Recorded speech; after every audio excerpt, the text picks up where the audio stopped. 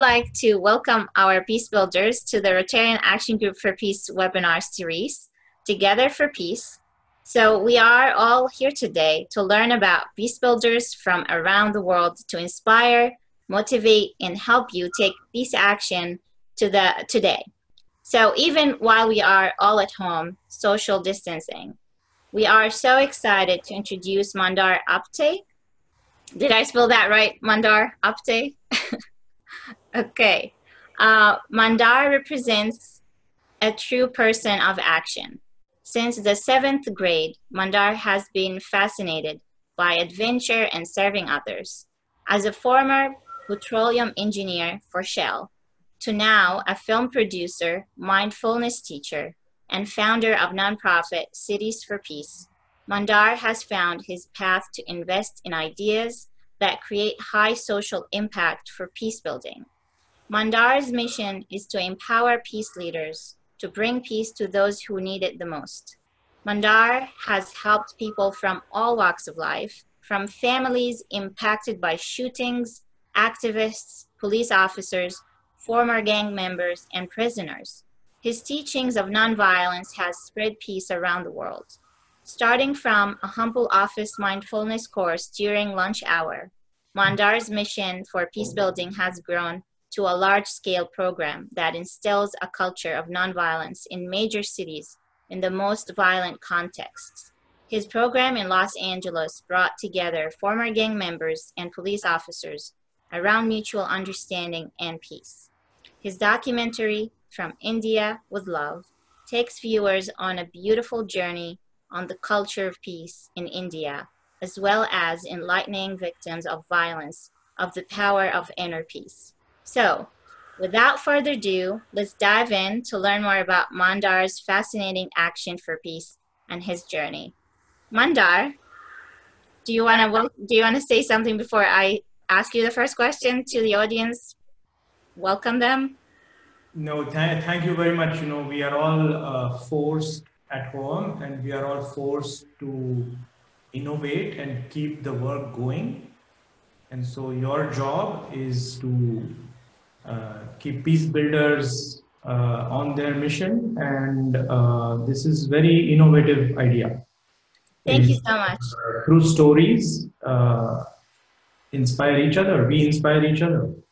I'm inspired by you. I'm inspired by uh, what you have also achieved in your you know short uh, time on the planet from coming from a challenged uh, neighborhood to where you have reached now in both your professional career as well as you know physically you have come far away from where you are. And so i hope that your family is doing well and i'm hoping that you know everybody that you uh, touch will get the smile that you have. That is so uh, catchy. The first thing we notice when we look at you is your beaming smile Oh my gosh, that's so sweet of you, Mandar, to say. I really appreciate um, your kind words. So, speaking of families, I want my first question to you is about your upbringing and how your upbringing helped you on your journey to do the great work you're doing today and what values instilled in you that you are utilizing in your peace action today. Yeah, so upbringing, my upbringing was in a middle class uh, Indian household in uh, Mumbai, in India. It's still Bombay for me because that is what we grew up with uh, before the name changed. Uh, it's a very busy city. It's like New York City 10.0. And so the thinking I had was that when you are growing up in uh, a middle class household, in a city that is fast paced, there's a lot of competition uh, you do get uh, a lot of exposure to different aspects of life. One of the aspects is busyness. Um, so, like you in India, uh, when you're going by bus, you're waiting at a bus stop. Uh, things don't happen at the time that you want them to happen, right? So, when you're waiting for a bus stop, the bus will come at its own time. And so, those uh, adventures teach you patience. Whereas, uh, you know, I had I had the time to live in Holland and Switzerland, where in Germany people are very like minute by minute, second by second, and if things don't happen, they get agitated. Right. So that this value of patience and caring comes from, I would say, the upbringing that I have. What one of the biggest things I remember is uh, being a fan of mysteries and books, and uh, I used to read the Hardy Boys. Uh, and I read seventh and eighth grade. I read almost all the about hundred books that uh, Franklin Dixon, the author, wrote, and every book like increased my imagination about mysteries and solving mysteries. And so my dream was to come to the US and meet the Hardy Boys. So that was the dream, you can say, that uh, teaches you the that life should have a purpose. Like uh, you know those two boys showed me that you could put your time in solving crime which is also reducing peace. I mean reducing violence and promoting peace. So i think those were the formative days of think, the thinking about human values kindness compassion service all these values uh, now we reflect back and you know those things shape our life you mentioned to me, um, Mandar, in our previous conversation about how coming from a middle class family exposed you to the concept peace.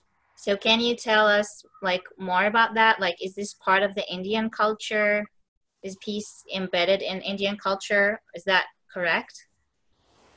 I mean, peace is part of every human being. So it's not just part of Indian uh, values. Peace is the innate nature of any human being uh, what keeps us away from uh, achieving that state of peace is i would say an inability to deal with negative emotions so you know we are all like common people we have events in our life that create negative negative emotions uh, and uh, those could be as simple as being stuck in a traffic jam or going through a relationship issue or going through uh, a crisis, a disease, insult, like getting fired at work. Like all these events are part of regular human being life.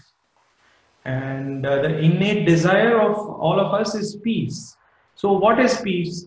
Peace is a state of mind where we are free of the negative emotion.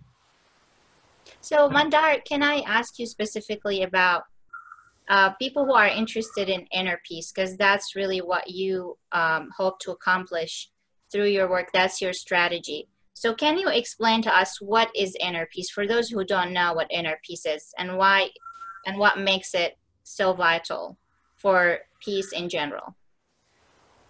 Yeah, I, I, I will give an example. The example could be uh, like somebody insults you, somebody blames you, somebody uh, is jealous of you whatever their position is if that affects you then you are no different from them so for example you know if somebody has made you angry based on some actions they that have happened uh, when you meet that person 10 days later at a party you are struggling because you are still chewing that anger but that person that made you angry is laughing is smiling. They have forgotten it.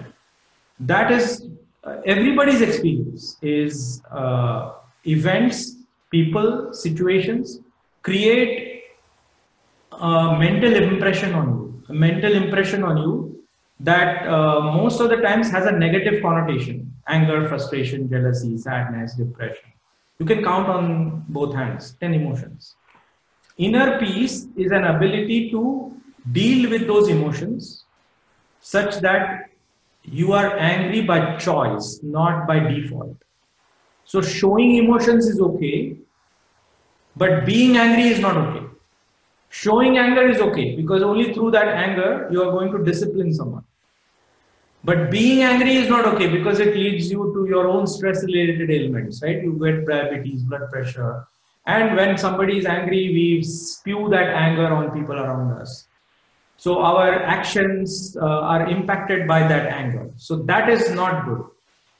Being angry is not good. showing anger is okay because then you have uh, become a master of the emotion otherwise you are a slave of the emotion right so inner peace is that fine line where you are able to manage your conflict inside keep that negative emotion aside and deal with the situation with uh, calm and ease not the other way around where the situation and the negative emotion is controlling your life and uh, coming back to Indian culture, I think it's part of world culture. Like, for example, uh, grandmothers tell us when you are angry, count to 10. Right? So, what does that mean? This is all over the world. People, grandmothers will say, hey, you know, when you get angry, don't, don't shout immediately, count to 10. So, what happens when you count to 10 is that your mind calms down. And when your mind calms down, you are not doing things out of that negative outburst.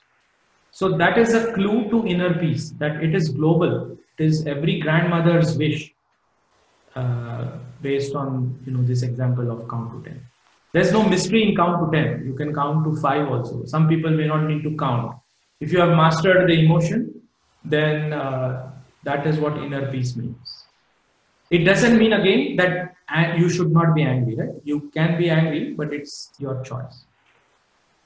So, um, Mandar, can you explain to me a little bit? I want to highlight the concept of sacrifice that you've learned from your family giving you so much love and where you felt that peace needs to be taken farther away from just you accomplishing your inner peace. And why is that significant and important? How do you move inner peace forward?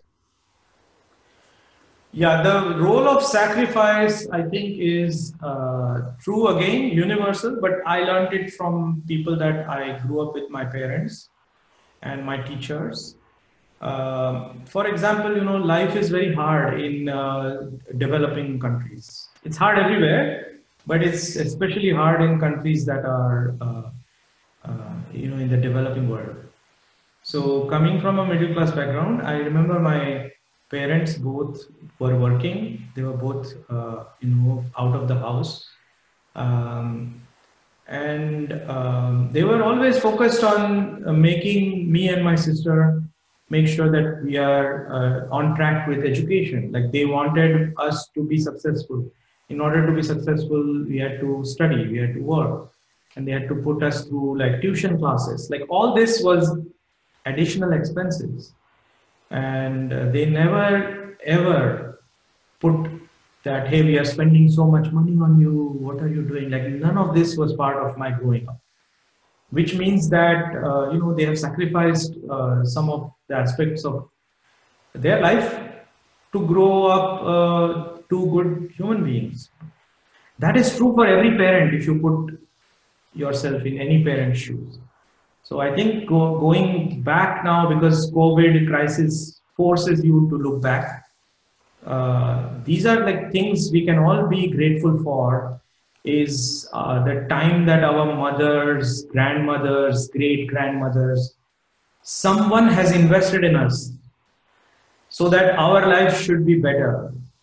And that is, I think, what uh, we need to also in, improve in our life is how many other lives are am I make, making better? So just me being peaceful is not enough. In fact, my lack of peace is because of people around me was my discovery that I'm peaceful, but because I'm working in a technical organization uh, that is all left-brained, logical, like you know, uh, it was very stressful. And so, in order for me to be peaceful, I had to make sure that my colleagues are peaceful. Which takes me to the next question. Because of that, you uh, you were a very prominent um, petroleum engineer in one of the leading organizations of the world, Shell, in, in energy and petroleum. Um, so you started an, a, an amazing program there with the help of women in the organization called Aware. Yeah. It's uh, such a fun story that I enjoyed listening to uh, when you shared it with me for, for the first time. And I can't wait for you to share it with everyone. How did this program came about? How did you bring peace to others in your organization and how women helped you take yeah. it forward? Yeah, so like I said, I discovered that uh, my stress was because of people around me. I uh, joined a meditation program. Yoga meditation was not part of my upbringing. My teachers were, uh, you know, a Texan couple from Houston, Texas. So I was learning all these concepts about live in the present moment and breathing exercises from an American couple. And I felt like, wow, why didn't I do this when I was in India? So I became a teacher. And uh, then I started seeing that, hey, my stress is because of my peers at work. So uh, I was spending nine to 10 hours at work. And this was like 2003, 2004, long before the mindfulness craze has started. So I uh, brainstormed with uh, two other uh, women, uh, actually, also, that were my friends. And uh, we, we started an employee network within Shell called the Aware Network. The acronym stands for At Work as Responsible Employees uh, focusing on self-awareness, meditation, yoga, tai chi, good food, like all these good things to bring them at the workplace so that people at the workplace are more stress-free, right? So that was the initiative, that was the idea. And the way that idea, that network came to life was uh, I reached out to the admin association network, like uh, administrative assistants of different groups within this large oil company. 99.9% they are all women. And uh, that's the bottom of the food chain, right? The whole organization, this is the bottom of the food chain. But uh, they were very powerful. That session that we did, a meditation breathing exercise session for these admins, uh, you know, many of them cried like, how can we help you? Because when you become stress free, the first thing that you start thinking about is sharing it with others, right? Mm-hmm.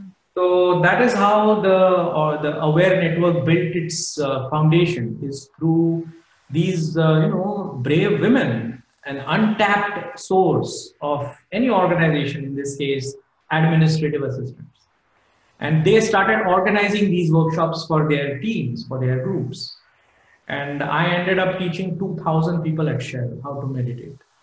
Uh, I could not have done that on my own. And uh, I think uh, women need to play a much important role in peace promotion because by nature, the woman uh, lives in the heart. Emotions are very clear, like emotions and women is such strong connection. So, uh, my urge, my request is women need to be more dynamic for that, you need to care for yourself. For that, you need to manage your negative emotions, for which you need to meditate. And I think you will be much effective in bringing uh, peace in the world, peace in your home. Uh, and, you know, we didn't talk about it before, but the, the woman in the home has that ability to bring the different nuts in the room on the dinner table right? So when the mom shouts and says god stop again come dinner will not be served like that is the power of the woman in the house. So i think that power uh, world peace needs to have that power. Not that men are not good but i think for women it is natural to be a peace builder to overcome conflict and find a common purpose and hey stop it like something like this actually so um can you share with us, speaking of that, uh, of women and their role around the dinner table, the metaphor or the philosophy of the apple pie uh, that you've shared about like grandmothers and the apple pie? Can you share that with the audience? Uh, my, I mean, uh, we don't have apple pie in India. So, uh, what I mean to say here is take any sweet, right? Take any sweet.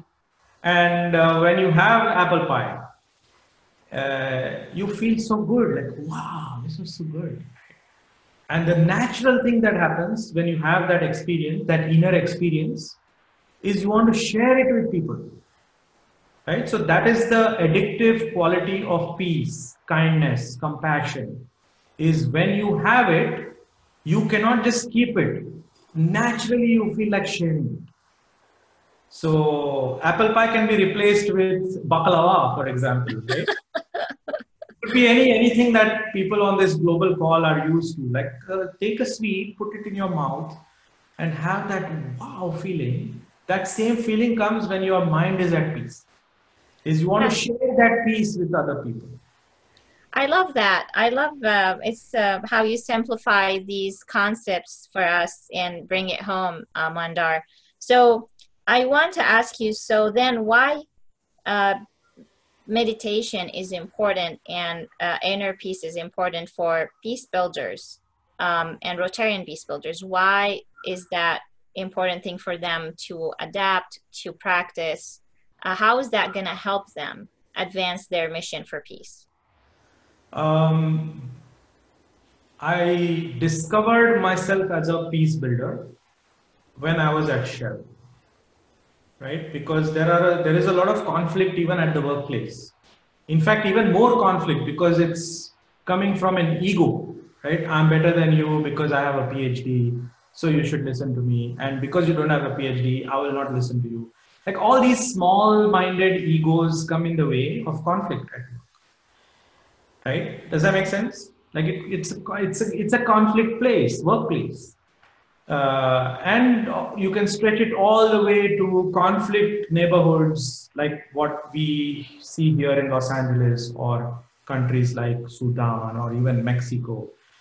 Like peace building is not easy, and so if you have chosen to be a peace builder, which you know I chose to be on that track uh, I noticed that if I am not peaceful myself, number one, I pick up the tension in the room. And number two, I'm not effective in my uh, desire to bring peace because I am not peaceful. So that's where I think every peace builder needs to focus their attention on building that capacity for inner peace so that number one you are more happy healthy uh, you're not spending too much on drugs and medical health right and number two that inner peace that state of mind that peaceful happy conscious state of mind will make you more effective in getting the job done of conflict resolution. Because conflict resolution is a very difficult job. Not everybody is willing to listen to each other. Especially if you are in a multi-stakeholder dialogue with you know different parties involved. Uh, holding that space as a peace builder should is a very draining experience so that is where meditation breathing exercises inner peace practices will not only help the peace builder in terms of being uh, happy healthy themselves but intuitive ability will increase. So you'll be more effective in your job. People will be more uh, attracted to working with you. So, Mandar, uh, speaking of that, you became um, a peace builder through the different um, initiatives and projects that you've led, and you've shared your apple pie with the rest of the world. Starting, or one of one of the things you've shared with us and humanity is the documentary you've produced uh, to share your journey of peace with others who've suffered from violence and how the journey transfer transformed them. So I wanted to ask you about the documentary a little bit. So what inspired you to make this film and why it was important for you to highlight um, and relate the nonviolence to inner peace? Yeah. Um, I have been a meditation teacher for the last 16 years. I have taught thousands of people, including 2,000 people at Shell, where I used to work. So I knew that it works and it works. I, I personally benefit from it, and whoever I have taught also benefits from It. Four years ago, while I was still at Shell, I had gone on a one month holiday to India, where my parents live. And uh, four years ago, this country where I reside now, the United States, went through its election cycle. And so I was watching on television this election debates, and I didn't like what I was seeing on television. That um, that was not the America I came in 25 years ago. So I picked up a book, uh, the autobiography of uh, Dr. Martin Luther King Jr. And I was reading that book as I was traveling home. Uh, you know, in India, we don't learn about Martin Luther King Jr. We don't learn about civil rights. We learn about India's freedom struggle, Gandhi's life. But we do know that Martin Luther King and Nelson Mandela brought Gandhi's nonviolence practices in their own uh, freedom struggles. So while I was reading this book, I read 30 pages of uh, Dr. Martin Luther King's little known journey to India that he had made as a young man. Uh, his mentor had told him to travel to India to uh, learn from the source what nonviolence is. And so that for me was that day a discovery like, oh my God, I didn't know that MLK had physically been to India.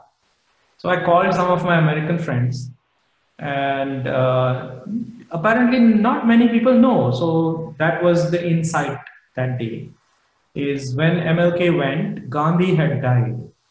So Gandhi and King never had a Starbucks together. Like, hey, dude, how did you do nonviolence activism, right? They didn't have that conversation. So when MLK went, uh, he learned it from the people of India, from the travel in India, from the culture of India, was my hypothesis. So that became the need of the hour. Is uh, I thought of recreating that same journey, and I thought of bringing victims of violence from America on both sides of the gun and all skin color to travel the footsteps of Martin Luther King Jr. in India and to test whether the culture of India, the people and wisdom of India, does it transform this delegation of victims of violence.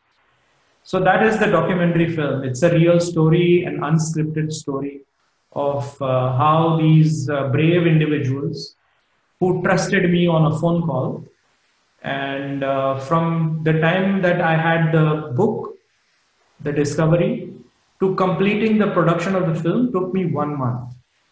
Having no experience in making films, knowing nobody in this uh, participant group. So that is where I also like, uh, I'm indebted to so many people that helped me to produce this film. So Mandar, I I watched your documentary, and it's truly inspiring. And um, i am a fan of all the heroes and the peace builders in your documentary.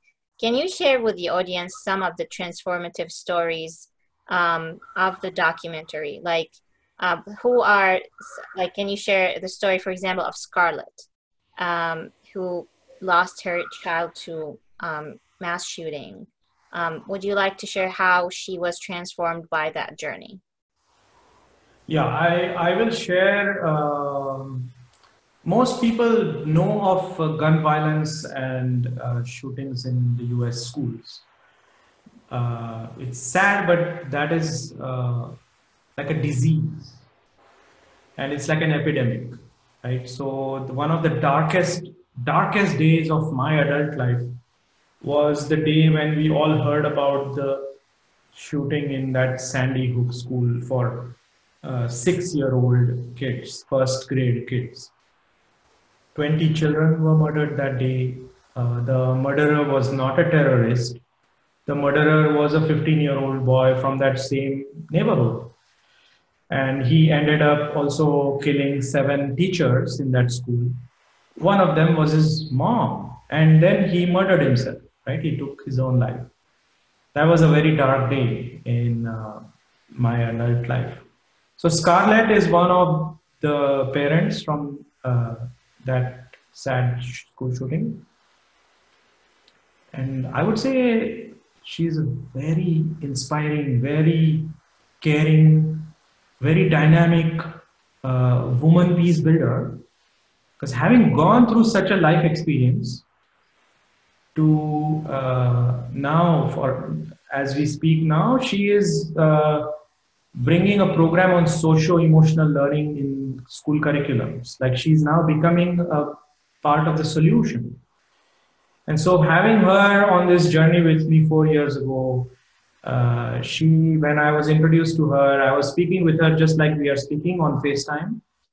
And I told her about my dream that I want to recreate Martin Luther King's uh, footsteps. Will you like to come? She asked me, What's the name of your project? So I said, From India with Love, because that's what I feel Martin Luther King brought back. So as soon as she heard love, she said, I'm in. Because that is what is missing in the world. So that was the first uh, like experience of Scarlett is she didn't doubt. She said she jumped in like yes. And then she said, okay, let me check if I can uh, find a babysitter for my the second kid she has. Like that's an interesting quality, right? To uh, say yes for anything that is good and then worrying about the details later, like logistics later. Uh, and uh, you know, all the six people have their own acts of uh, uh compassion, and uh, they are all great people, great human beings. I love, I love the story of the mayor, and you know, I, you know, Scarlett is such an inspiring story um, of a woman who overcame that stra- tragedy and um, I love what she said at the end uh, by the river when she said, I've never felt more peaceful like this before since the shooting. Um, so that's obviously a journey that brought her peace that she was looking for. And now she's bringing it to others.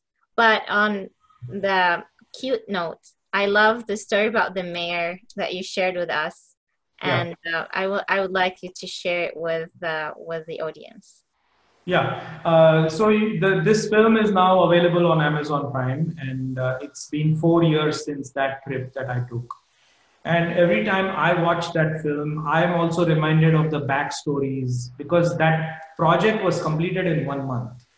And it was like whitewater rafting. Like i had no time to think what i'm doing. It was just do and do and do right? Uh, since then, I have taken about 100 leaders to India.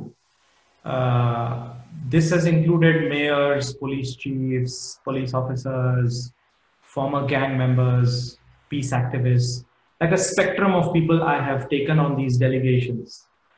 Uh, it's not a vacation. Yes, you do get to see the Taj Mahal. Yes, you do get to take pictures.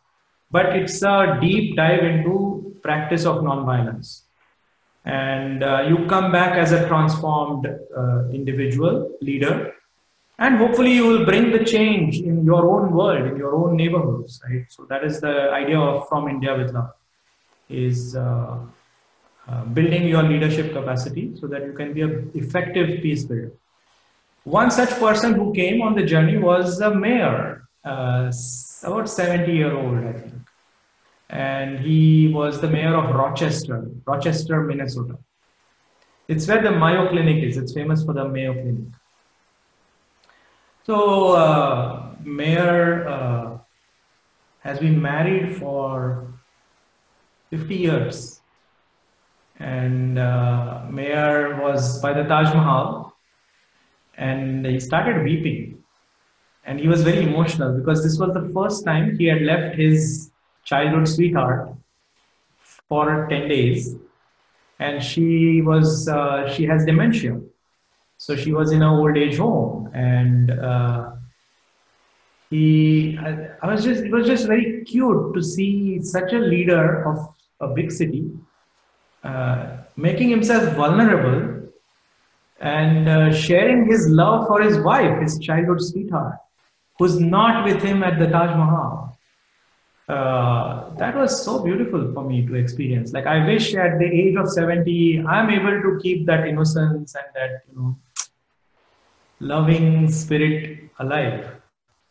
So peace building uh, requires you to have that human side of life.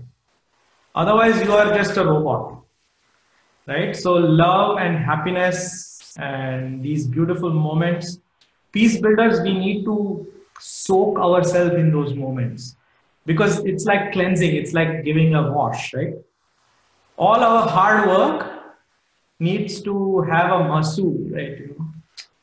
so these moments of love and happiness are uh, very important for a peace builder because you're connecting back to your own humanity in the mayor i saw me right so It's beautiful.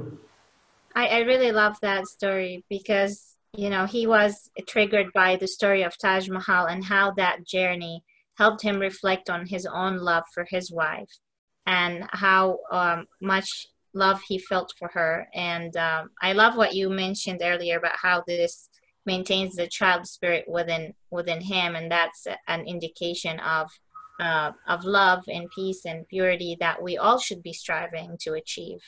Um, I love the story also of the the prisoners who um, um, who came with you on the journey, who are now now free. They left prison and they're helping um, push this message forward in, to other prisoners. Um, can you share with us about them and what they've done to help prisoners in India? Yeah, uh, just to set the context, uh, when my film started screening in different cities, and I got invited as a, you know, director Q and A, uh, you get exposed to certain neighborhoods. Like this screening was in south side of Chicago, very violent neighborhood, and uh, you get to feel the tension that is prevalent in the United States between communities of color and police. And uh, if I, four years ago, as a privileged Shell employee, I had no, I used to read these news, but I was not soaking in the people that are facing these challenges. So I decided to take that, uh, that year, 2018, I took police officers and members of the communities of color on my From India with Love trip to India, about 34 of them. So 34 people, 17 cops, and 17 community of color representatives. I was holding that space 10,000 miles away. And uh, one such person that had come was a former gang member, uh, was uh, incarcerated at uh, age 18, and he spent 32 years in prison. Seven years was in solitary confinement. And uh, after watching my documentary, he got inspired and uh, he signed up and uh, we, we are still, we are very good friends. But what I learned from, you know, this individual and other such individuals that I have uh, met is their uh, ability to uh, give back. So coming to India, I, of course, we did the breathing exercise, meditation practices, meeting the people of India. And then I brought him to speak at the largest prison in India. And uh, all the prisoners in that prison have done the breathing and meditation workshops. So they were telling Nate that if they had learned how to manage their emotions, they would not be in the prison. Mm. And so Nate was touched by this. So when he came back to LA, he organized a workshop for his friends and community. Right. So that was for me like a very interesting attitude is not only to taste peace, but to share it with your loved ones, just like the apple pie analogy we, we spoke. And Nate Williams uh, is still like every day he goes to some jail and writes letters to the inmates where he was, telling them about the good life that is outside, and uh, gives workshops for juveniles and young people of uh, the life that he has lost. He's lost 32 years of his life. And so the mistakes that he made, not to make those mistakes. So I think it's a beautiful uh, way of looking at peace building is to prevent violence right? So peace building doesn't need to be just go in conflict areas and solve conflict, but it could also have a prevention aspect to it. Is go to neighborhoods where you are uh, at risk and uh, prevent people from going into that pipeline. I like that uh, because violence is present in every every place possible. There's violence. It could be systematic it could be in attitudes, it could be in hate speech or discrimination, um, in, in policies or structures. Um, and so every time you are helping someone in such, um, in, in a violent place or in a violent situation, you are promoting peace and you are building peace because you're empowering them to overcome this without violence. Yeah. Uh, yeah. And um, which takes me to your um, initiative, Cities for Peace. You realize that violence exists in our cities um, and you wanted to tackle this issue. So you created this initiative. Uh, can you highlight for us an example of a project that Cities for Peace has done, uh, more particularly um, the work you've done in Los Angeles with the police and um, um, gang members there.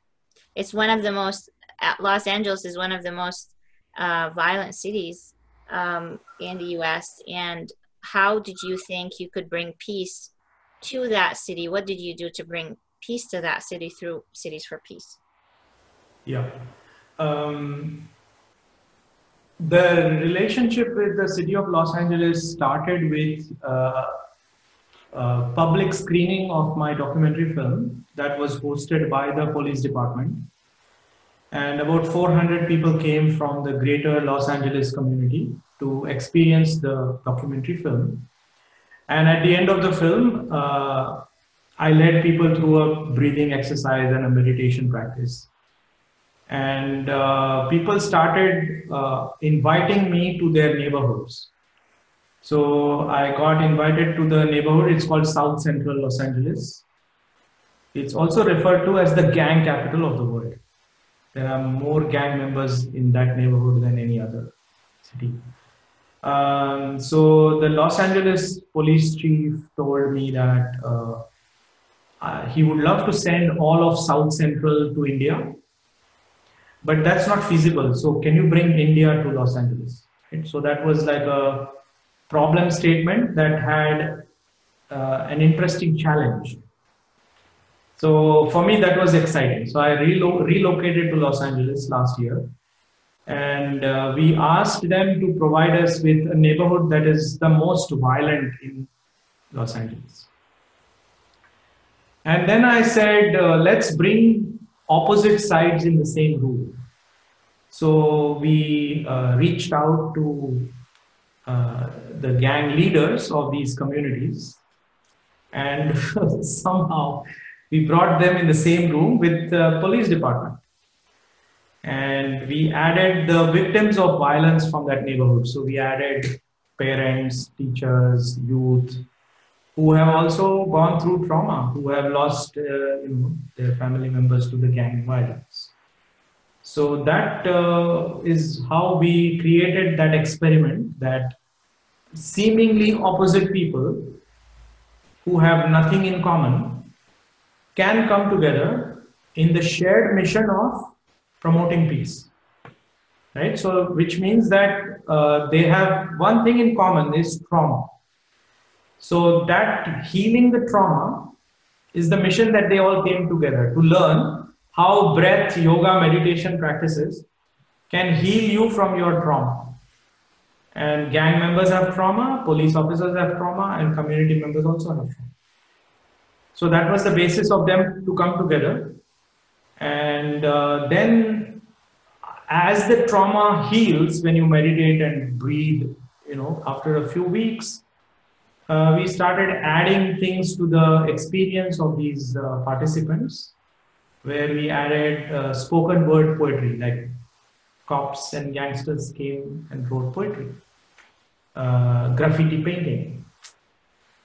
So these experiences show each other that we are all human and we are all uh, here for a short time.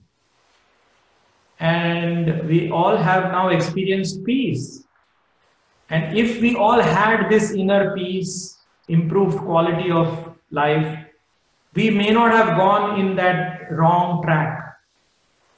So, sir, let's bring this to places where there is a need for peace. So, schools, then we started doing workshops in the neighborhood schools. So that is how the experiment has blossomed is empower people and then you know, as they discover the peace and joy within, naturally they want to share it with their loved ones, their own community. So that is how the LA experiment has blossomed, and now we have been invited by Miami and uh, done workshops in Albuquerque, New Mexico. Uh, so it's uh, it's an invitation to people who are watching this webcast.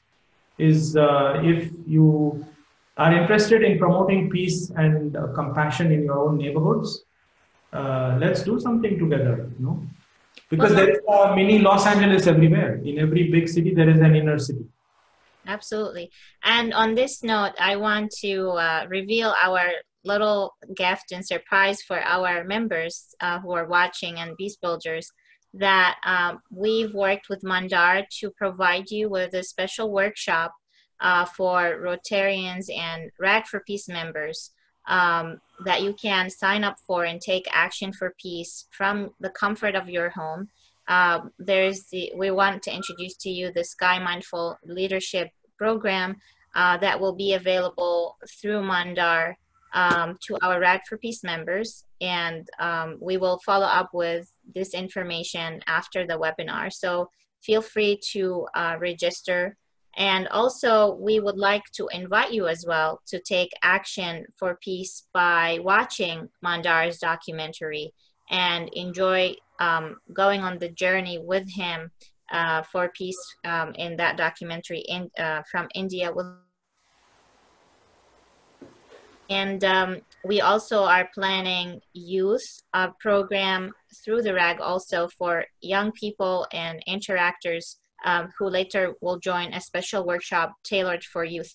And we're doing all this um, uh, through the RAG for Peace and our collaboration with Mandar's a great program to um, empower our peace builders to join on a journey for peace together. Mandar, would you like to say something to that and why it is important for the RAG members to join um, and how this is a great opportunity for them to engage.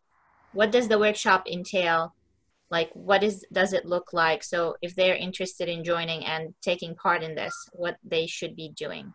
Yeah, the introductory workshop consists of some group discussions, uh, some interactive processes, but mostly it will be based on the science of breath. That every emotion has a corresponding breathing pattern so when someone is angry, frustrated, sad, we will notice that our breath pattern is different. Like when someone is angry, we are breathing fast and shallow. When somebody is uh, sad,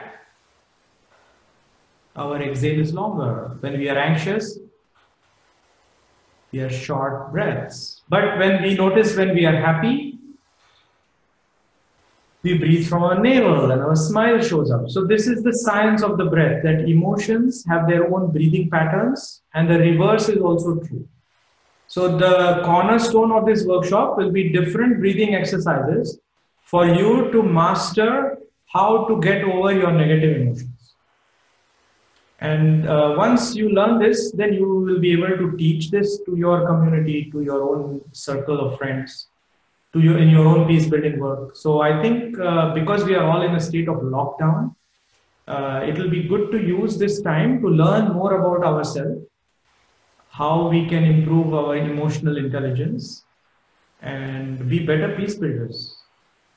Also, it brings you to a community of like minded and like hearted people sharing the same breathing together in meditation and reflections as well um, and healing through that process to become more empowered peace builders to take peace forward. Um, everyone is asking, where is that your documentary? This amazing documentary. I believe it's on Amazon Prime. Um, is there other places where people can find it, Mandar? Uh, I am still trying to put it on other platforms that are more uh, global. Uh, so for now, just email me and I we will find a way to send the link. But for people in the United States and people in the UK, the film is now on the Amazon Marketplace. So you awesome. can rent it on Amazon or get it for free if you are a member of Prime. Okay, so um, Anna, if you can share with us the um, the slide on the times of uh, Mandar's workshop upcoming through the RAG again so we can uh, spell it out loud for people who are watching. I believe we've scheduled it for, I'm not to share it, I want to make sure. It, it's, um, This is Mandar's email. Yeah. Okay. So the adult intro will be on Wednesday, April 15th at 5:30 to 7 p.m. Pacific time. And that would be next week Wednesday. So there will be an adult intro. After that intro, if you are interested, there will be an extensive workshop uh, in May and that workshop intensive workshop mandar would be for like four days and um, it will be two hours every day yeah so it um, and it will be a spread um, on a weekend so it would be like friday saturday sunday and monday um, the same would go also for um, the, the week after the adult intro so the adults who have enjoyed that experience and they want to bring in um, their um, um, grandchildren or uh, interactors. So if you are a Rotarian in a Rotary Club who um, has interactors, uh, please invite them uh, to join the youth intro. Uh, that will be the Wednesday after April 15th, and that would be April 22nd. Um, and it's the same time, 5.30 to 7 uh, p.m. Pacific time. So it's a great opportunity for um, adults and youth um, in, in Rotary and beyond to join this uh, program and take this time of the coronavirus for us to build our inner peace and reflect on um, our journey for peace together. Um, so Mandar, before we wrap it up uh, for Q&A, would you like to share um, a wisdom from someone you inspires you. I know that one of your biggest inspirations is Sri Sri Ravi Shankar, who's um, an amazing um, um, peace and uh, peace leader and a thoughtful uh, thought uh, leader um, in our worlds, and he's inspiring you. So, is there any wisdom or um, value or story from uh, Sri Sri that you'd like to share with the rest of us? Yeah. Um, I will say that I have been following Sri Sri's teachings since 2002, so 18 years. Uh, I have traveled with him. I have, uh, you know, have had many personal conversations with him. So for me, he is uh, my dearest friend, philosopher, guide. And the word guide in India is the source of the word guru. So he's a guru Guru simply means a guide. So uh, his website is srisri.org. So maybe we can type it here, or if Anna can type it.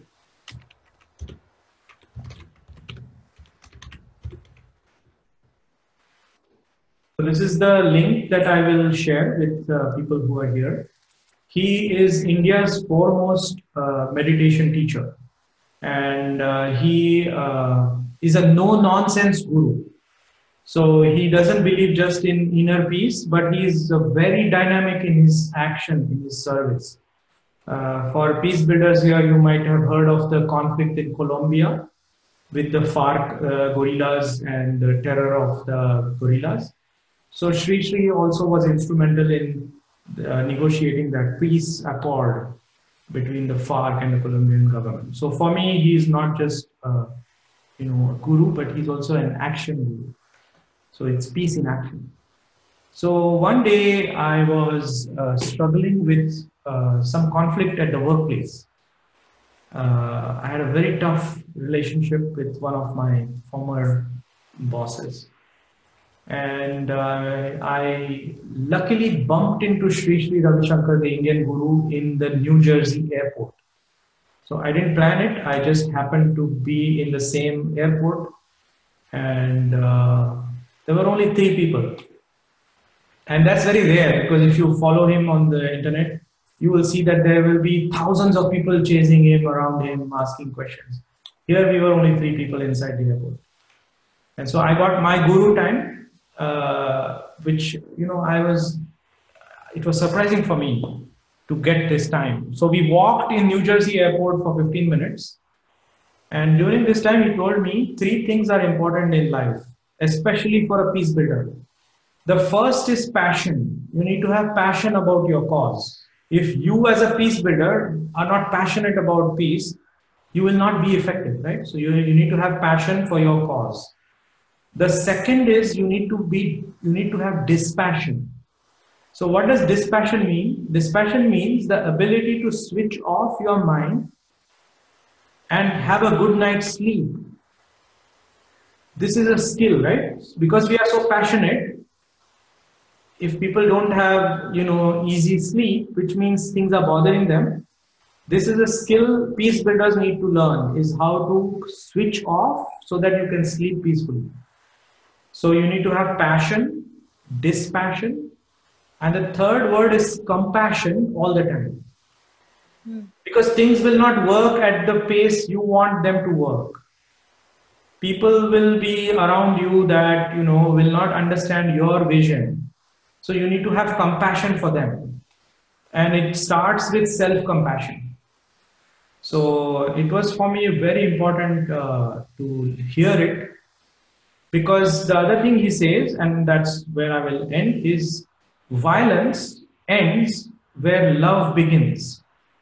So whoever you love, very rarely you will be violent, even in the words you use.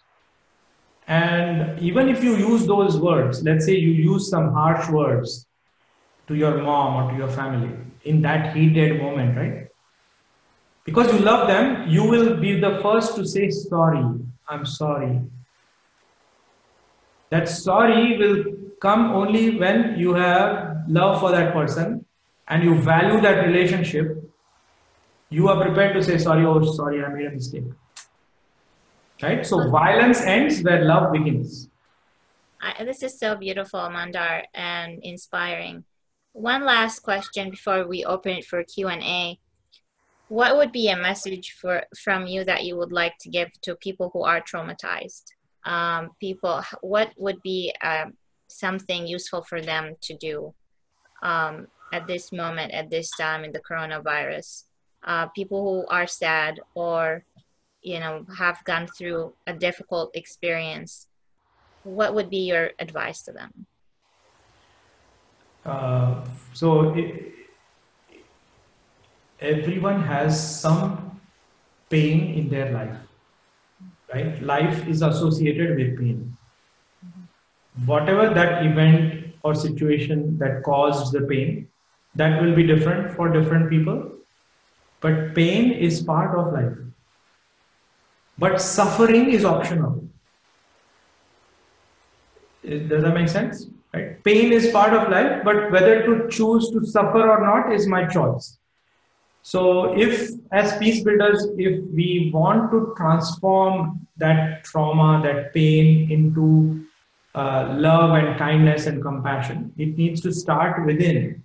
Like you need to have compassion for your own spirit that has gone through this trauma, this pain. Uh, what will be useful is this science of the breath. Because breath is universal. Breath is irre- irrespective of whether you are a man or a woman you know indian chinese hindu muslim you are all breathing. And this science is very simple. Emotions have their own breathing patterns. Reverse is also true. Use your breath to manage your emotions. So for anybody who has gone through pain trauma think of uh, the action we do every day, which is brush our teeth. The first time you learned it when you were a baby, this stick in your mouth, we hated it. But today we don't leave our home, hopefully, before we brush our teeth. Why? Because we don't want dental hygiene. We, we want our hygiene to be good, right? The same is true with mental hygiene. So as peace builders, see if you can practice breath meditation work every day. Five minutes every day, 10 minutes every day. We can do a few exercises now if you want. Well, I want to um, leave that to the end of the, after the Q&A, we would like to leave some time, at least 10 minutes for us to do, for you to lead us on a breathing and meditation um, exercise before so everyone leaves with energy of your words and stories and actions that they can take and also feel um, feel it in their hearts So I will not delay anymore. We're 3 p.m. now, and we will take um, the amazing questions we've received from our members. There's this a great question from Allison, who was our chair. Yeah. She said, You talk about inner peace and the need to always be in that state so that others around are able to sense that. How does a peace builder or maker challenge things which are wrong and very bad? Can the peace builder be assertive in a meeting whilst it not restoring to bad words and bad behavior? So how can you maintain this balance, Mandar, between standing for what's right? Sometimes, you know, you could be surrounded by manipulative people or people who um, take your kindness um, and take advantage of your kindness. Uh, people who would assume that your kind your kindness is weakness. So how can you maintain that grounded um, power for standing for what's right without turning into be someone like them? You don't want to mirror their manipulative behavior or their harsh harshness. Yeah, allison great question. I think it's a very sensitive question because as a peace builder, you can be taken for a ride if you demonstrate the kindness and softness. Uh, but actually, think of that as your strength, right? That is your strength. And if you don't provocate things, if you don't be a disruptor and get people uh, shaken, you will not be doing your job. So you do need to do that as well without being taken for a ride, right? So it's a fine balance between the two. And in a way, you have answered that question yourself that if you are peaceful, it means you have access to that calm and you are using your words, your actions to shape other people's actions in a certain way, uh, that is your strength. And for that, you need to be more mindful, more alert, more conscious. And that is what meditation practice allows you to do effortlessly. Which takes me to the second question. So, this is from Susan. She says, For someone who's new to meditation, it is very overwhelming with all the resources that are, are available uh, she said she has tried many apps and has gone through books, uh, but she doesn't know which things are right for her. So, what would you like to recommend um, for a source for a resource for beginners like Susan? What where can we start? Susan, by asking this question, you have already started. so uh, just stay for the next uh, 20 minutes. I will teach you a few breath exercises I will teach you a few meditation practices. And then I will also put you, uh, if you email, then I will also send you a, a few apps. I can also send you a link to a meditation in my voice. Like all these resources, I will send you. So stay back, uh, enjoy the practices that I will share. If you like them, then we can provide you with more. Uh, meditation is like sports. There are different sports. So there are different ways of meditation. Choose the sport that you like. Like if you have tennis elbow, you cannot play tennis. If you have shin splint, you cannot run. So maybe chess is your game.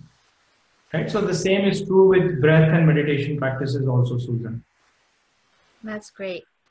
Um, so this is a great question from Nick. Um, he says, what would be your single biggest suggestion for mindful non-reaction? So I think it builds on Allison's previous question. How can you not react? Mindful non-reaction. Do you have comments on this, Mandar?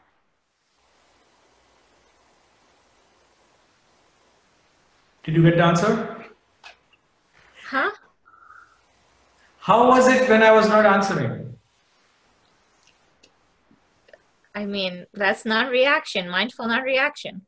Correct. So that sometimes you have to give that through silence, through not reacting, is being quiet, which means you need to be used to doing nothing. Right? So that practice of meditation allows you to do nothing daily and which builds your capacity to respond, not react. So basically, are you saying, Mandar, that sometimes the best answer is to not answer at all if it's not worth our energy? Uh, but we should be also mindful of how to react because I'm trying to build on what Allison asked before. So sometimes the best action is to do nothing and and be in silence and reflect and wait until the right opportunity arises or the, when we are in the right mindset to respond so you agree? Perfect. Okay. Well if i get if i get your approval i'm happy. No um, beautifully answered. okay. Beautifully answered. And i would just say sometimes is not the right word. When you meditate every day it will be all the time, not sometimes. I like that. Yeah. So um, the there's an interesting question by Eunice. I, I believe Eunice is from Morocco, Marrakesh. Um, regarding cultural and religious differences and misconceptions, how can peace builders be effective in multicultural communities? So if you are, you know, there's stereotypes all over. And actually, there's research that shows that many people consider themselves not biased, but in reality, their subconscious acts as they're so biased. So, you know, even if you, even if the best people can be biased, that's what the science is telling us. So, how for people from different faiths and cultures um, operate within that stereotypical, you know, way of viewing them? Yeah. So, firstly, Eunice, uh, you know, thank you for asking this question. And uh, uh, people, people, people are different. So you know, there will be differences between any two people, right? Whether even if there are four people living in a family, you can think of them as four different people because they are having different choices, preferences, biases, right? Just because I live with four people in my home doesn't mean that everything I will agree with. So that same principle, uh, we have to learn how to uh, implement is agree to disagree, right? There are disagreements even in a family, but just because we disagree on one thing, we don't like create uh, a turbulent situation. We say, okay, I agree to disagree with him on this, but let's keep our attention on, let's say, raising our kids together, right? Let's agree on that. Let's disagree on others. So this ability of uh, choosing what to agree and what to disagree is a inner cap capacity building that peace builders need to do. And regarding religious differences, uh, as a peace builder, uh, think of religion as the banana skin and spirituality as the banana. So people might have different ways of praying, or if you are an atheist, not praying, but the prayer leads you to the human values, to the humanity inside you, the banana. So, as a peace builder, see if you can learn to be spiritual, where you have tasted the banana, you have tasted kindness, happiness, compassion, which are the qualities of the banana. And then you honor every peel that takes you to the banana. What have what how does it make a difference if I pray this way or this way or this way or this way. So you start honoring all the peels. And as a peace builder, I think we need to have that extra ability to move people through the banana peel and taste the banana in their own religious community. That we start recognizing that we are all human, irrespective of which faith we follow. I, I love this example of the banana. Makes it, uh, you know, drives it home I want to also add to uh, Eunice that, um, you know, as beast builders, we should not be reactive to the stereotypes. We should stay grounded. And I feel that meditation and wisdom and breathing allows us to remember uh, what what is unique about us, and that we shouldn't be reacting to other people's reactions. We just view that that with compassion and help educate them. I think every time there is a misunderstanding or misconception, it's an opportunity for us to educate and um, with with kindness, you know, not in a condescending manner. You you educate people by showing up and being the best version of yourself. And if they choose not to learn, that's their problem. They have not learned. If, if you've done your part, so don't don't stress about people who are not willing to learn, and focus on those who are willing to learn, and yeah. not, don't lose yourself in the process. So that's my advice for you. Um, very well. I mean, so beautiful. What you have expressed just now is very beautiful. Thank you, Mandar. Well, I've learned from Sri Sri myself. So we we are graduates from the same school in a way. Uh, so. You know, you tell you should share about the time in your life that you went through this training because that was at a very young age, and I think you should share a little bit about. I discovered it while you were speaking that hey, you have already gone through the training. And you should also share that uh, you want to reconnect with what you have been trained. Because yeah, I will join. Discoveries. Hey, I learned it, but I, I need to use it. Well, I can share that through the course when I join the RAG for Peace members. Yeah. Uh, and then we can I can share with them. But I want to give the opportunity for the if we have a minute left, I will. But I want to focus on addressing all the audience questions. Okay, there are two more. Okay, so there's this question from Peace Fellow Maria, who says your film shows how the culture of India empowers victims of violence with different tools. How could we do the same in our Western societies? So Maria is asking how can we connect the learnings from your uh, documentary and bring that back home to Western societies? Yeah, so so my documentary uh, focuses on two uh, aspects. One is an inner journey for which you don't need to travel to India. You can take that inner journey through workshops on breath and meditation, which we will, of course, start facilitating but if you're uh, in, in a particular country, for example, we can put you in touch with the art of living teachers in those countries. So you don't have to go to India. The workshop, the training uh, is coming to you in your own neighborhoods. The second aspect of my journey is an outer journey through travel. Travel in India, in this case. Uh, again, you don't have to travel to India. If you come to India, that's great but if through some challenges you're not able to come to India, then travel to a distant land, maybe the next city or the next country. Because what this travel journey is going to expose you is how to look at your own problem from a different lens. Right? So Western society is not different from Eastern society.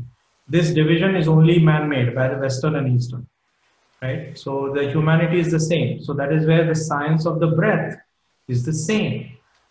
So learn some breath meditation practices and the wisdom is not Eastern wisdom, it's universal wisdom. And actually that's what the coronavirus just taught us. It doesn't discriminate. We're all human. We're all in this together. Uh, we're all, uh, you know, vulnerable to uh, to a virus, but also to violence and to oppression um, and we are all revived by love and compassion and support. And with yeah, it's like a, it's like a bee has stung you, right? With this coronavirus. Like if you reflect today, just I was reading today's uh, like highlights. Israel and Palestine are cooperating on COVID. Can you have imagined that COVID has brought, at least in spirit, the two sides? Right? The same thing is true about uh, communities in neighborhoods like violence levels have dropped.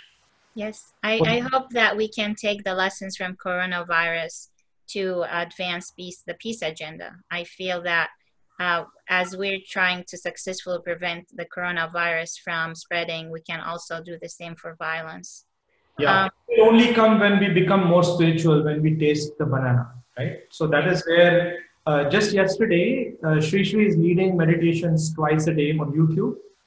Yesterday, 2 million people meditated on YouTube. That's a massive, it's like a peace bomb, right? So, as peace builders, as we can use this opportunity to go on YouTube and just uh, explore the secrets of your breath. Yeah. I, I love I love that um, Mandar I, about Sri Sri's meditations. I will definitely join them. Um, one last question from yeah. Allison. Um, she says, being a person of peace is a conscious decision. Yeah.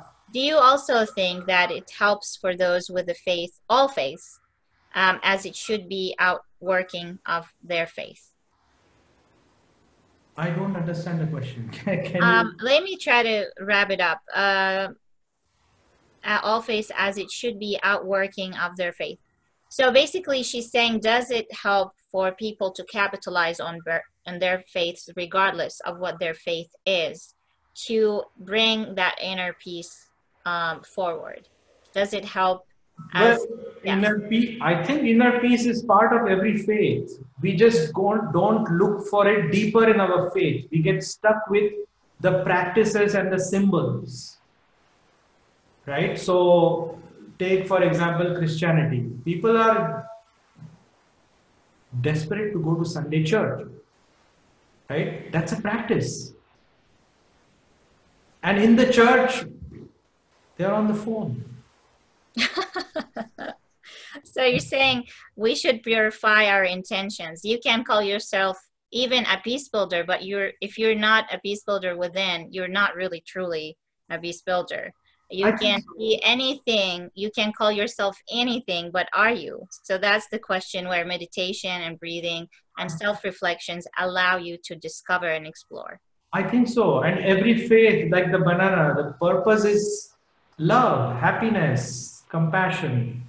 So if you are part of any faith, whichever faith it is, go deeper in that faith.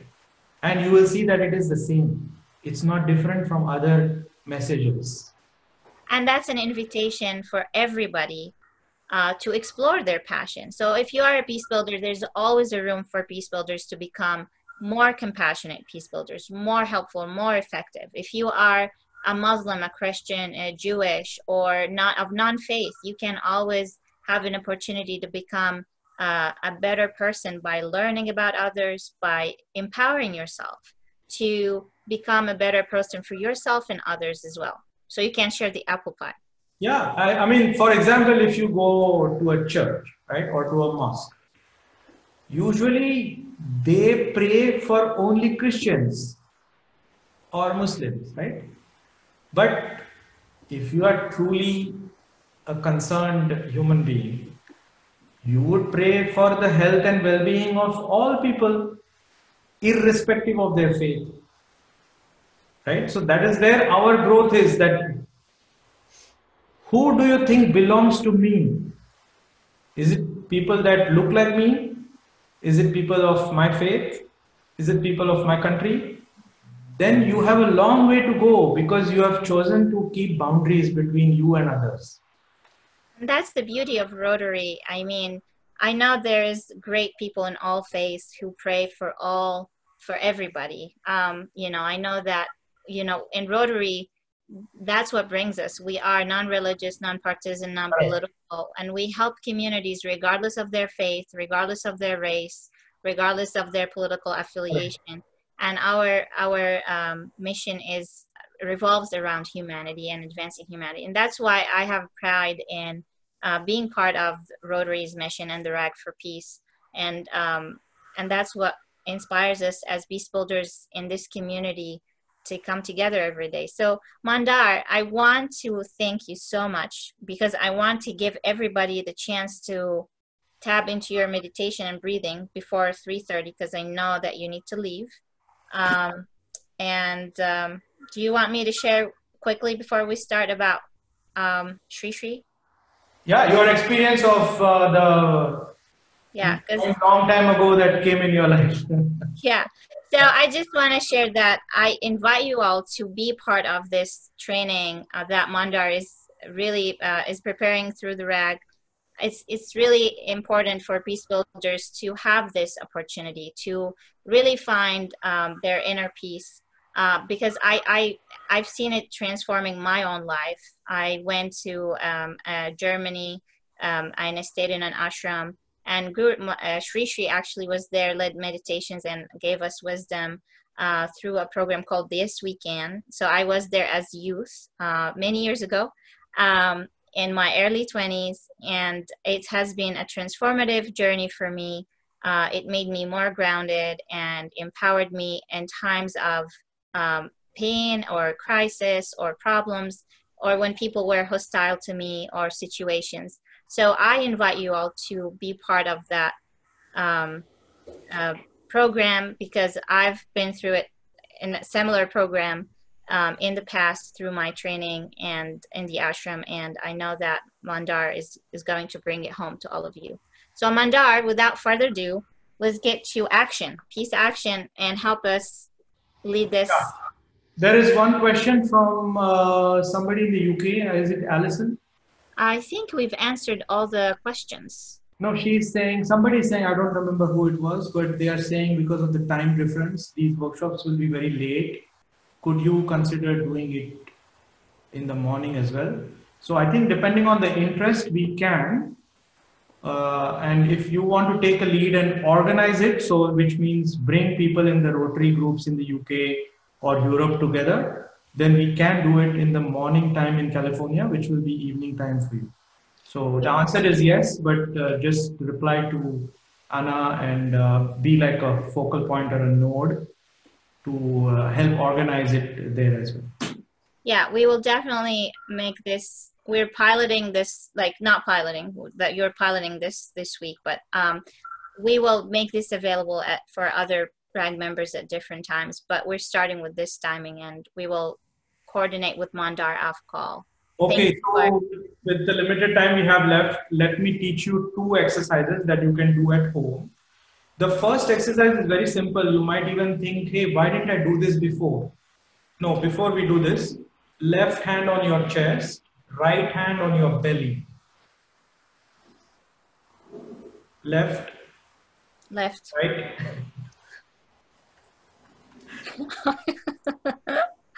there is no magic, but I uh, I like it this way. So what we do now is we take deep breaths, we fill up our lungs and we fill up our belly.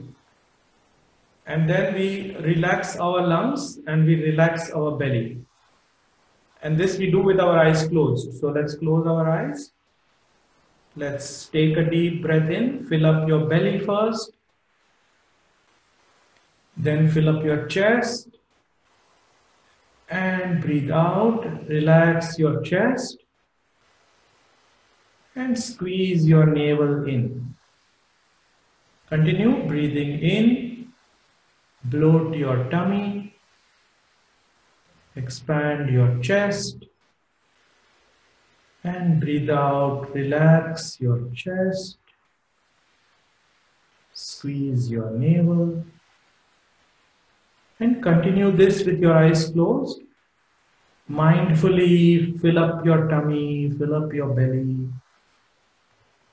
then fill up your chest and mindfully, slowly breathe out, relax your chest, relax your navel.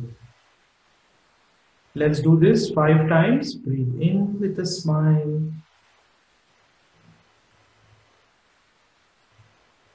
Breathe out.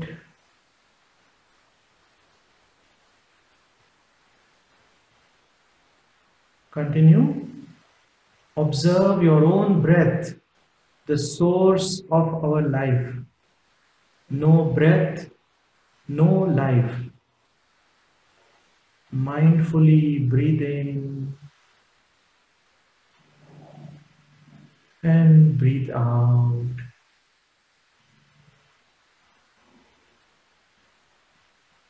Once again, breathe in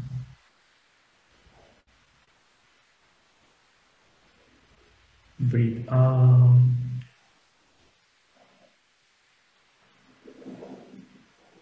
Final round, breathe in, bloat your stomach. Nobody is watching. Breathing. And breathe out.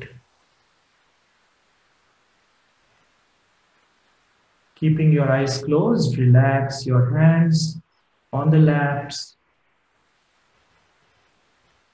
And notice the sensations, any warm feelings, tingling feelings, just observe.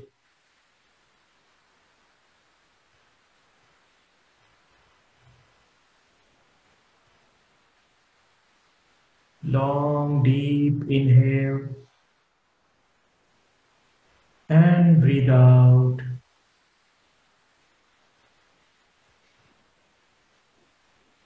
And slowly we may open the eyes. How was it, Reem? It was amazing. I feel just energized and a sense of calmness. Yeah, so this can be easily used to fall asleep at night. You are tossing around, just use this exercise. And 10 breaths, long, deep breaths, you will knock yourself out, right? You will have very easy sleep. I want to ask everyone in the chat if how did that exercise go for you? If you liked it, Yeah, type yes. that's- Type yes, yes, yes, um, in the in the chat box. So, oh, thank you, Dean. I'm glad you liked it. Okay, Um, more? You want to learn one more? Okay, can we do it while you are saying what's your dream for our world and what kind of impact you want to have on our world, um, Mandar? Because you are an amazing leader, inspiring individual. And so, if you had a dream for our world or an impact you want to leave in our world, what would that be? That's a deep question. maybe after after the breathing maybe it will come to you and you can't end it at that note so let's have one more because people like it. it seems people are loving this so let's give them one more and then as So this is again very simple. Some of you who may already doing yoga may already be knowing this exercise. This is very simple. In the workshop, we will go deeper. yes This exercise is called alternate nostril breathing. I will demonstrate, then we will do it together. okay Put your right thumb on the right nostril. Inhale, exhale from the left nostril. Inhale from the left nostril. Switch and exhale from the right nostril using the same hand. Then you inhale from the right nostril. Switch, exhale from the left nostril. No, Reem, you use the same hand. You put your right thumb on the right nostril. you're confusing me come on let's do it slowly because if i don't follow i don't think others are You put your right thumb on the right nostril. i have problem with right and left okay let's do this Right Ready? thumb on the right nostril. okay Exhale from the left nostril. Inhale from the left nostril. Now, yes, and switch and exhale from the right nostril. Yes. Then you inhale from the right nostril. Switch, exhale from the left nostril. You got it? i got it That's what you're doing. And these two fingers, you can put it on the middle of your eyebrows. So it's like supporting you, resting your arms. Mm. You continue this. Inhale from one nostril. Switch. Exhale from the left nostril. Inhale from the right nostril. Switch. Exhale from the left nostril. And now do it with your eyes closed. Inhale from the left nostril. Switch, exhale from the right nostril.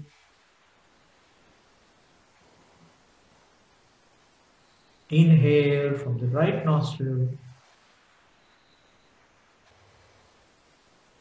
Switch, exhale from the left nostril.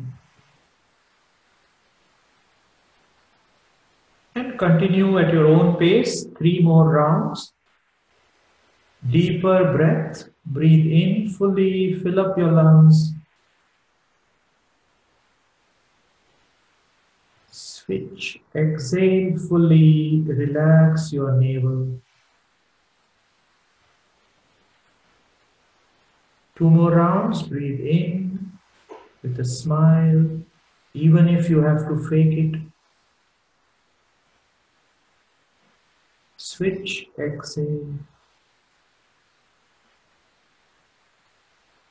And final round, breathe in with enthusiasm. Switch, exhale. Inhale.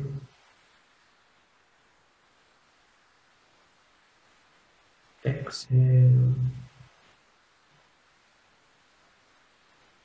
And relax your hands. Keep your eyes closed. Spine straight, palms on the laps.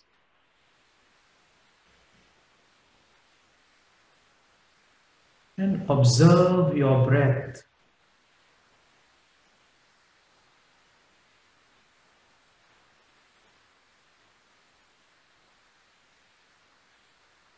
Long, deep breath in.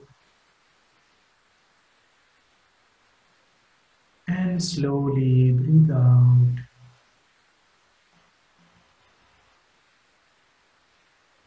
In this state of silence, let us remember our near and dear ones, family members and friends, and send them your love and blessings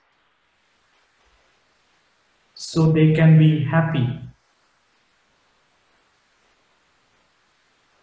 Whenever they are happy, we are happy.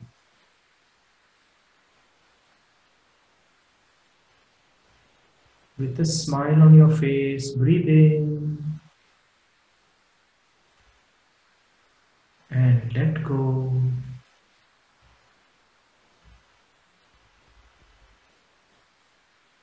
And slowly, gradually become aware of the surroundings.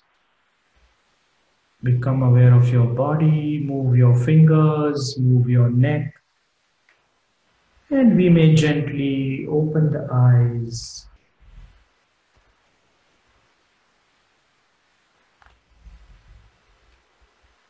Thank you. How was it? It was amazing. I learned this. Okay, thank you. Yeah, so it's just alternate nostrils, like you are breathing in from one, exhale from the other, inhale from one, exhale from the other. This harmonizes both the lobes of your brain. So left brain and right brain are connected with the nostrils. Yeah, So- I actually feel more clarity. Actually, that's great because Yeah, Whenever your mind is in a chattery space, if you do this alternate nostril breathing, you will observe that your mind chatter calms down. yes. Right? Uh, Dean, there's a comment from Dean saying watching watching Reem master the last exercise was was worth the price of admission. Dean, yeah, that's a good joke. Thank you. see, see, Mandar, it was good to struggle with it a little, and so helping everyone learn together. You should Um, go to Bollywood. You know, you should go to Bollywood. I think you'll be a good Bollywood actress. You are good.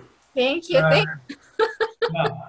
actually, many, many considered, have you considered that career or no? no, no. But a lot of my friends in Palestine tell me that there I look like a lot of the Indian actresses. yeah, yeah. Yeah. So maybe if I move to India at some point in my life, who knows? Yeah. You haven't been yet? No. But Okay. maybe ah, we should tell the Rag for Peace members uh, that we are considering maybe uh, making this trip to India available also to all of you. We have not yet finalized the details, but we're exploring that possibilities. So if you are interested in that, please contact us at contact uh, at rotariansforpeace.org.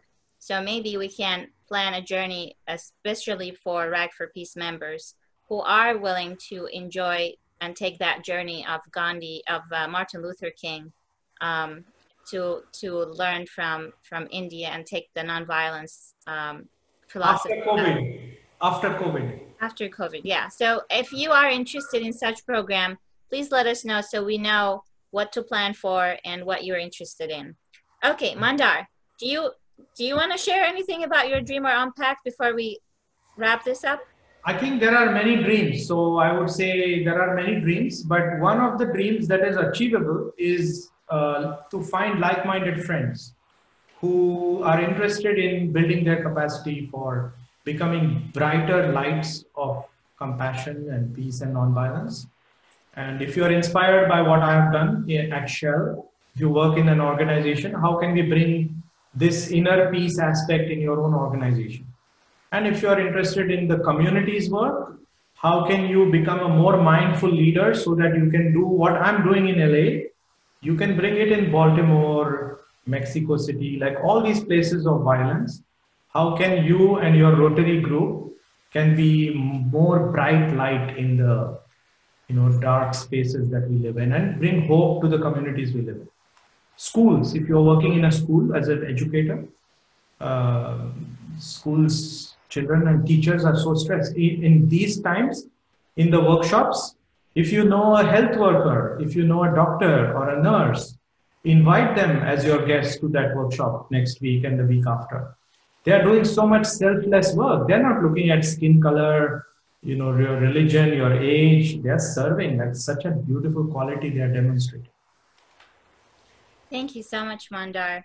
I am inspired by your dream to empower as many people to bring peace, inner peace to their hearts and then to others in their communities because there's violence everywhere and there's opportunity for peace builders to um, alleviate the pain of violence by bringing peace to to that to those uh, contexts. So, Mandar, I wish you a wonderful day. I don't want to keep you any longer. Thank you for all our members uh, enjoy the rest of this um, Friday and happy weekend to all of you. Yeah, stay safe and stay home and uh, make other people stay home. Okay, great.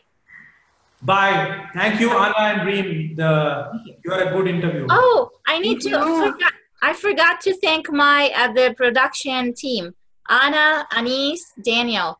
Thank you, Anna De Silva, Anis Zaman, and uh, Daniel Hollis. You are an amazing team. I love you, and I love all the members who've attended to make this webinar, uh, you know, continue and exist. yeah, exist I, Anna brought the slides in at the beautiful timing. Like it was great, Anna. Thank you. Yes, great. No problem. Thank you all. See you next week. See you. Bye. Yeah, Carlos, namaste and take care. Carlos from Mexico.